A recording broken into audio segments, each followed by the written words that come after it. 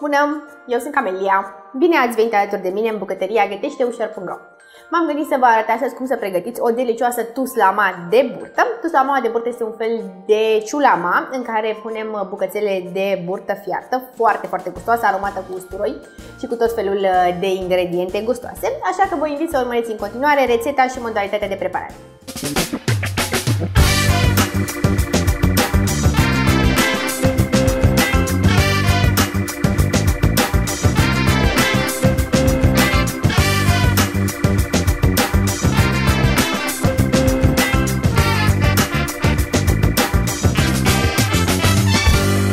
Rețeta noastră de tuslama vom folosi 1 kg de burtă de vită fiartă. Eu am burtă de vită pe care am fiert-o ieri atunci când am făcut ciorbă de burtă. Vom avea nevoie de 500 de ml de supă de vită concentrată, 2 ouă, o lingură cu făină, 20 de grame de unt, 300 de grame de smântână, 5 căței de usturoi, 3 foi de dafin, sare și piper după gust și câteva picături de ulei de floarea soarelui.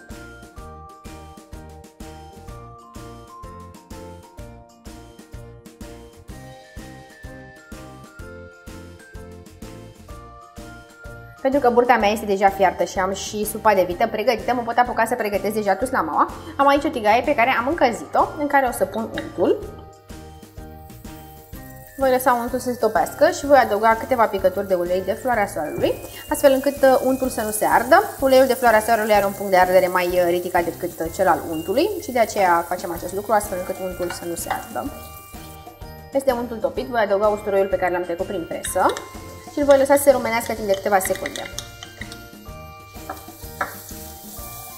Facem acest lucru astfel încât usturoiul să și libereze aroma. Peste el adaug fășiile de burtă și amestec foarte bine.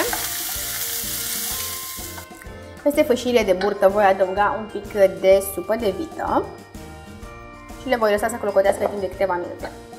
Să vă explic acum cum este cu burta noastră din uh, Tuzlama. Pentru a face Tuzlama aveți nevoie, bineînțeles, de burtă. Puteți să cumpărați uh, burtă prefiartă, dar nu vă recomand, vă recomand să cumpărați burtă proaspătă. Eu am achiziționat burtă proaspătă și am fiert-o ieri când am făcut uh, ciorbă de burtă. Găsiți pe site-ul meu această ciorbă de burtă. Am fiert-o împreună cu oase de vită și cu legume, astfel încât să fie foarte, foarte gustoasă și vă recomand și vouă să faceți la fel. Dacă totuși cumpărați burtă prefiartă, veți avea nevoie de această supă de vită, pe care nu aveți de unde unde să o faceți pentru că ați cumpărat uh, burta prefiartă. Așa că tot pe site-ul meu găsiți uh, cum să faceți această supă concentrată de oase, care este absolut esențială pentru a face o tuslama foarte, foarte gustoasă.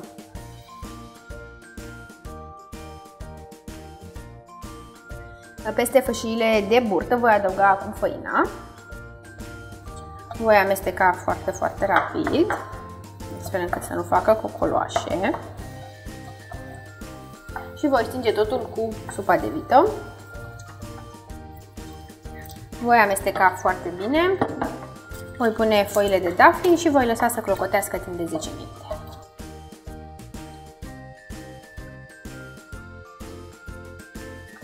Cât timp uh, burta clocotește, putem să pregătim uh, acest amestec de smântână și ouă. Voi bate cele două ouă cu un praf de sare. Și le voi adăuga peste smântână și voi amesteca foarte bine.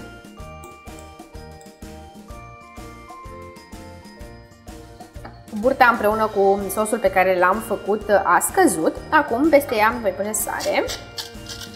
Nu voi pune foarte multă sare pentru că burta fier deja în supa pe care eu am sărat-o, în ciorba de burtă practic, și piper și voi amesteca peste povestea aceasta foarte frumos mirositoare din tigaie, voi adăuga smântâna amestecată cu ouă.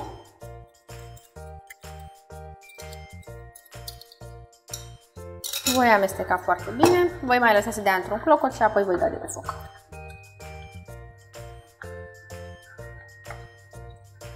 Dragii mei, tot la mama de burtă este gata. Vă sugerez să o serviți cu câteva rondele de ardei iute deasupra. Sper că v-a plăcut rețeta mea și dacă da, vă invit să mă urmăriți pe Facebook, să subscribe canalului meu de YouTube găteșteușor.ro Vă urez poftă bună!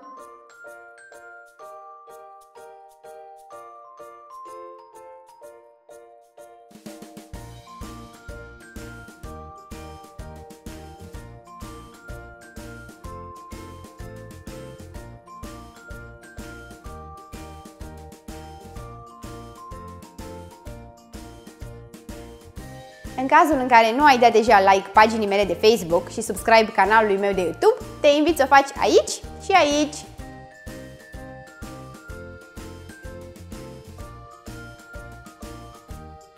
Pa, pa!